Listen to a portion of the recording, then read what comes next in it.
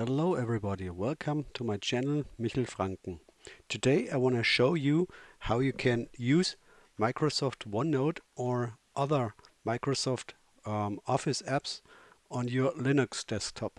Unfortunately there is no native OneNote client or Office client for Linux available. Therefore I searched for a um, solution for this topic and indeed I found uh, snap package P3X OneNote um, for this uh, issue. And today I want to um, share with you how you can install this app on your Linux system.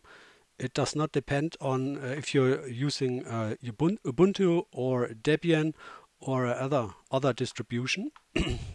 With snap packages, you are independent from your distribution. And um, so I will, I will start now to show you how you can install this. First, you have to open a browser and a terminal.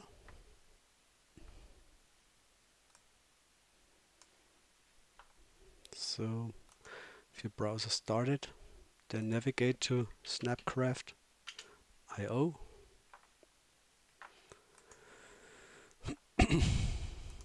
and search in the store for OneNote.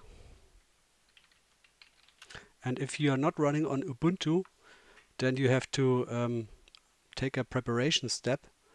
You have to install Snap on your system, and this you can realize with sudo sudo apt install snapd. On my system I already installed it Therefore it shows that the newest version is already present. After you have installed Snap, then just click in your, in your browser window on the OneNote app, then on install, and here you got the statement for your terminal, paste it in, execute, and you see I have already installed it. If you uh, did not install it yet, then it will install it Afterwards, you can in you can start the application with P3X OneNote. Then you have to provide your credentials. Either you um, create a new account on uh, Microsoft Office or you already sign in with a present account. and after you have logged in, then it will load your notes or your present notes I created some demo notes, but unfortunately the connection today is very, very slow. I don't know why. And it should now show us yes. Here if you you can you you sorry. So here you have the categories. I've created Linux and um, in German it's Urlaub and in English it's vacation and here you have the nodes in the category Linux. Here I have kernel, kernel patch, shell scripting, Debian, OpenSUSE and a demo page. And you can see um, it works pretty well. Um, and you have got another benefit with this um, snap container package. You are not limited to, um, just to use OneNote. You can also switch to other uh, Microsoft Office apps. For example, let's take Word.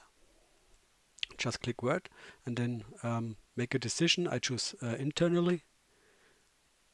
I've switched lang language to German from English, therefore it is German. sorry for that. If you do it on your own system, you will see it is um, um, in English. And again, internally, a new document. and now it is opening Word online. It's still unfortunately slow.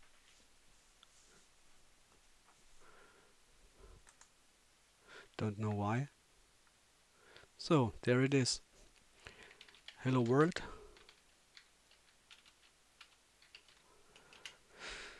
Yes, now we reached our target for this tutorial. I hope you enjoyed it. If you found a better solution or a different solution, please feel free to add it in the comments. Otherwise, I would be thankful for a, um, if you follow my channel and then um, thank you for watching this video and till the next time. Goodbye.